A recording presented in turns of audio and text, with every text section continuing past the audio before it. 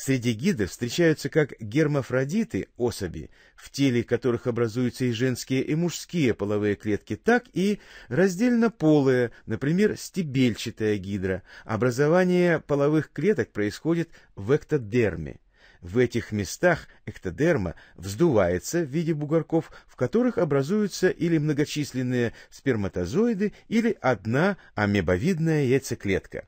Сперматозоиды выделяются в окружающую среду и током воды доставляются к яйцеклеткам. После оплодотворения, происходящего на теле гидры, яйцеклетка покрывается оболочкой. Зимой материнский организм погибает, а покрытое оболочкой яйцо перезимовывает и весной начинает развитие. Яйцо многократно делится. В результате этого дробления образуется шар из клеток, из которого затем формируется двухслойный организм. После этого молодая гидра покидает яйцевые оболочки и выходит наружу.